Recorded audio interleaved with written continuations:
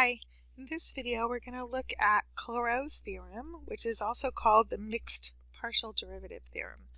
Alright, so first of all it says if we have a function that is defined on an open region R, and the mixed second partial derivatives are continuous on that region R, then the mixed second partial derivatives should be equal on that region. Okay, so we're going to look at this example down here and think about applying that theorem to this example and how that theorem might help us with this example. All right, so for this function, first of all, we need to think about where this function is defined. So that's really thinking about the domain of this function.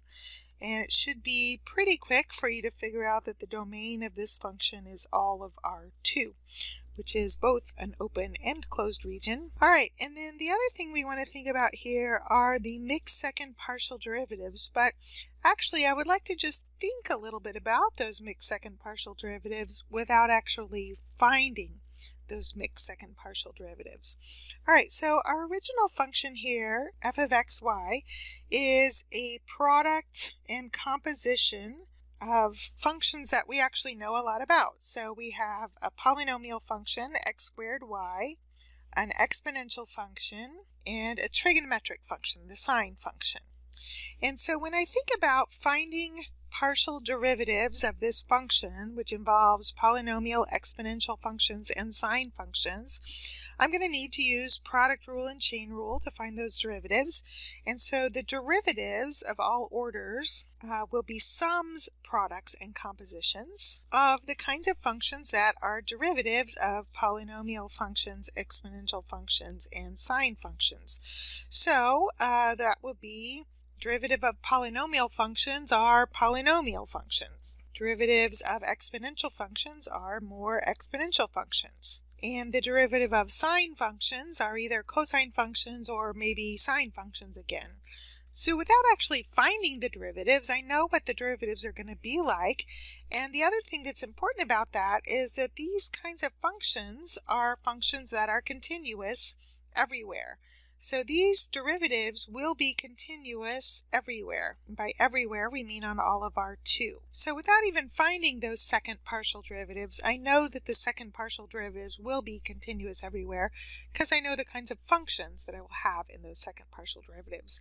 All right, so the way I could use this theorem to be helpful would be if I'm interested in finding those mixed second partial derivatives, there's an easier path to the mixed second partial derivative, and then there's a harder path to the mixed second partial derivative.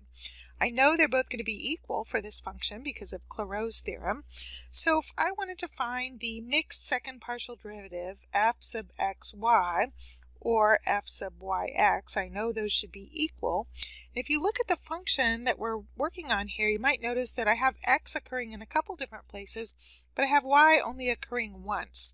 So the easiest path to find this mixed second partial derivative would be to find the derivative first with respect to y. So I'll have um, the sine function I'll be treating like a constant, which will come along when I find this derivative, and then times the derivative of the exponential function, and then chain rule times the derivative of what's inside that exponential function.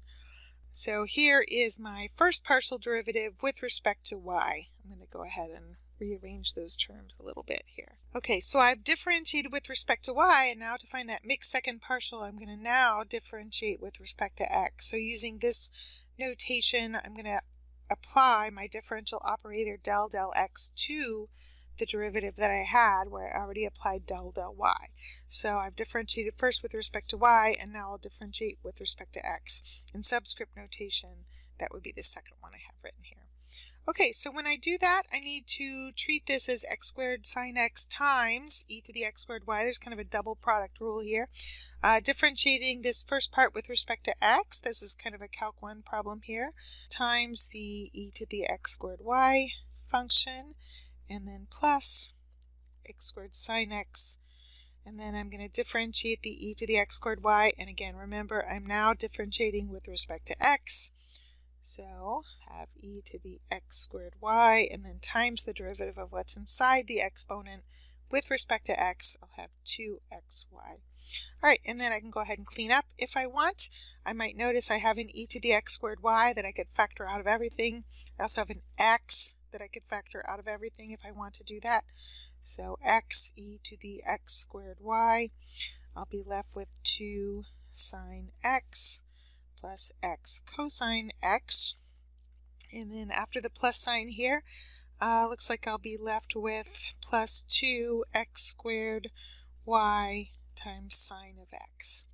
All right, so there's my mixed second partial derivative, and that should be uh, both mixed second partial derivatives because Clairaut's theorem guarantees it since we know that all of the derivatives of all orders are going to be continuous everywhere.